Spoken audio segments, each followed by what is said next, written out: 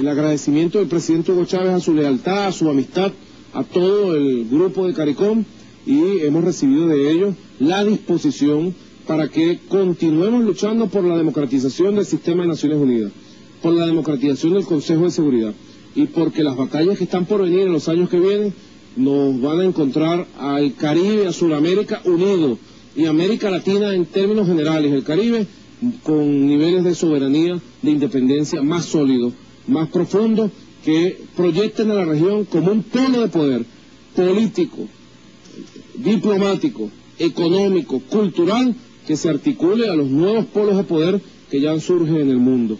Le hemos agradecido a las cancillerías de los diversos países hermanos por la fortaleza que tuvieron frente a las presiones del imperio. Canciller, el día de hoy el embajador John Bolton declaraba que se sentía satisfecho porque Venezuela no ingresó al cuestión permanente del Consejo de Seguridad de Naciones Unidas, pero eh, desde mi punto de vista como reportero hago otra lectura.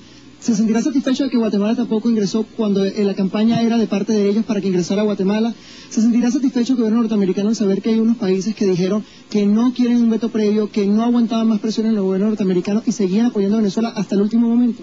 Bolton sufre la misma enfermedad de Bush y de Condoleza. Está enfermo de obsesión. Obsesión fatal sobre Venezuela, sobre el presidente Chávez, sobre nuestro pueblo. Y nosotros le queremos dar una lección. A Bolton lo sentamos en su silla. Y lo sentó el equipo de Naciones Unidas, lo sentó eh, la opinión pública internacional. Ayer lo vimos corriendito, asustadito porque nosotros veníamos por una calle cerca de él, y corrió por otra calle para no encontrarse con nosotros. Lo sentamos, le dimos una lección de dignidad, de moral, y los años que están por venir van a demostrar que teníamos la razón.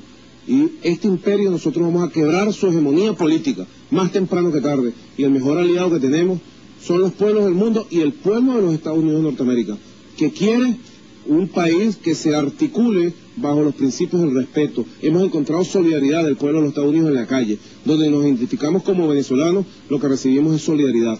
Y eso nos da gran ánimo porque sabemos que nuestra lucha ha sido contra la élite de este imperio que pretendía imponerse sobre los pueblos. Pretendieron humillar a Venezuela.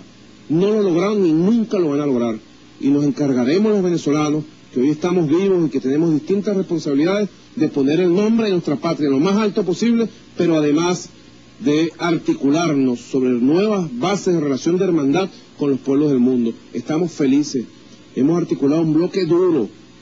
Primera vez que en el mundo unipolar, que se impuso hace 16 años, se da un récord de 47 rondas de votación. Y si hubiéramos querido, hubiéramos tenido 300. Porque iba creciendo la fortaleza de ese bloque, pero además la simpatía. Y era cuestión de tiempo, pero nosotros creímos que había llegado el momento de manera inteligente, de manera sabia y con eh, capacidad de diálogo de llegar a un punto de consenso como se ha llegado de manera soberana. Porque Guatemala y Venezuela nos pusimos de acuerdo de manera soberana y buscamos una salida digna, un punto de consenso digno y bueno, estamos a la espera de que en las próximas horas el grupo del Gurulat ya definitivamente eh, tome su decisión formal. Consideramos que esa decisión eh, seguramente lo más probable va a ser acoger la propuesta de Guatemala y de Venezuela y las lecciones que nos ha dejado este proceso nos fortalecen.